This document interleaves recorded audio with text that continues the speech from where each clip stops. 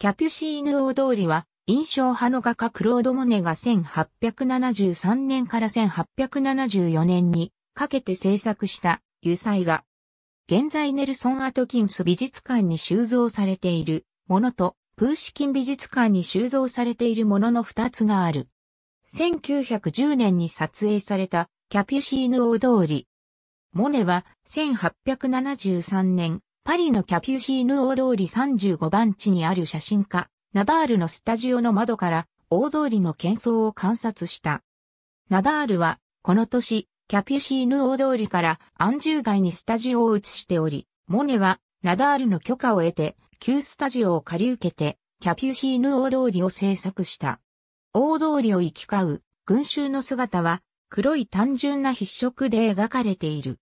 モネが表現しようとしたものは、個々の人物ではなく、無数の人々が行き交う大通りの活気であった。ラフな筆色を残すことによって画家の手の動きも伝えられる。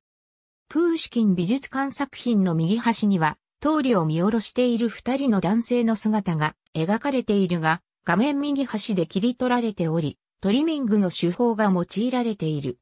これは画面が大通りを垣間見た偶然的なものであることを意味する。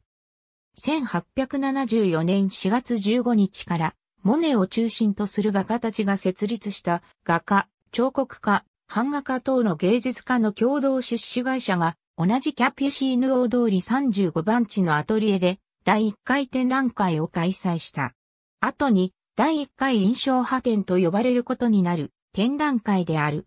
モネはこの第1回印象派展に印象、日の出など他の作品とともにキャピュシーヌ大通りを出品した。もっとも2作のキャピュシーヌ大通りのうちどちらの作品が展示されたかは論争がある。オーリー・ピュータースワードと CH、スターリングはプーシキン美術館作品であるとするのに対し、ジョン・リウォルドはネルソン・アトキンス美術館作品であるとしている。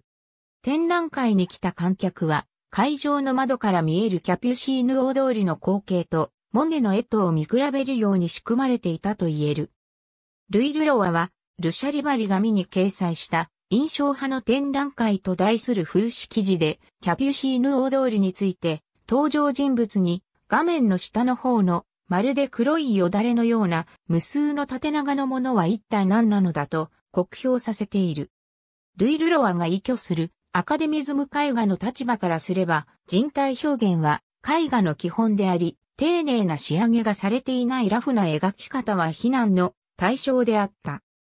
一方、エルネスト・シェノーはパリジュルナル紙で、これまでこの素晴らしいキャピュシーヌ大通りほど、誇りと光の中のおびただしい数の群衆の動き、道路の上の馬車と人々の雑踏、大通りの木々の揺れ、つまり捉え難いもの、移ろいやすいもの、すなわち運動の瞬間なるものが、その流れ去る性質のままに描き止められたことは、かつてなかった。と、肯定的に評価した。